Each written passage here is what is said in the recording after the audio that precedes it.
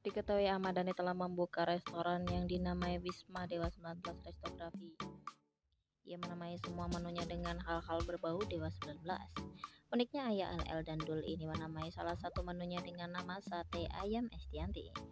Berhasil menyulap ruangan kantor menjadi restoran musisi asal Surabaya ini memilih makanan-makanan favorit yang kebanyakan makanan asli Jawa Timur. Dalam video unggahan Farida Nurhandani dan host terlihat lahap memakan beberapa menu yang ditawarkan, mulai dari mie goreng kirana, rawan pecisan, dan yang paling menarik adalah sate ayam Estianti. Farida bertanya alasan mengapa Ahmad menamai menunya ini. Iki opo, kok ada Estiantinya? Kelakar Farida. Lalu Dani menjelaskan kalau Bunda Al El dan Dul ini dulu adalah bagian dari Dewa 19. Ini ayam goreng Estianti. Eh, sate ayam Estianti. Dulu kan Maya Estianti backing vokalnya Dewa, jadi semuanya ada hubungannya dengan Dewa. Tegas permen Dewa 19 ini.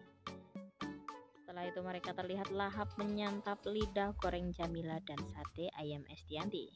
Dari mengingatkan kalau makan dua menu ini harus menggunakan sambal karena menurutnya orang Jawa Timur suka pedas. Makan harus pakai sambal. Kalau nggak pakai sambal mendingan gak usah. Selain mie goreng kirana rawan picisan dan sate ayam Estianti, Wisma Dewa 19 Restografi juga menyediakan beragam menu lain seperti lidah goreng Jamila, sate kambing satu hati, es laskar cincau, dan banyak menu lain yang pastinya berhubungan dengan Dewa 19 tentunya.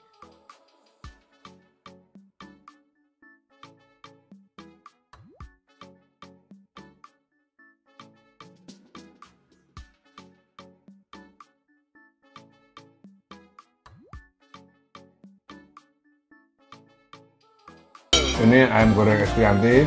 Kok ada Estiantinya? Dulu kan backing vokalnya Dewa.